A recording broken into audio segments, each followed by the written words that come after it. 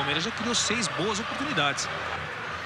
Gira o time do Palmeiras. Marquinhos Gabriel toca pra dentro. Allan Kardec, pé direito, cruzamento tem sobra!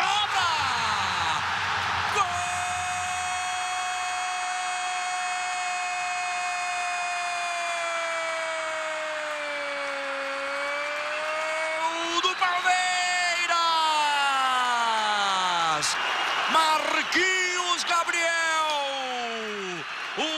Torcedor do Palmeiras canta e vibra. Não é fácil, não foi fácil, mas o Palmeiras tentou, tentou, tentou. Uma hora tinha que dar. Bola pela direita, Allan Kardec, defesa do goleiro, o rebote do Marquinhos Gabriel.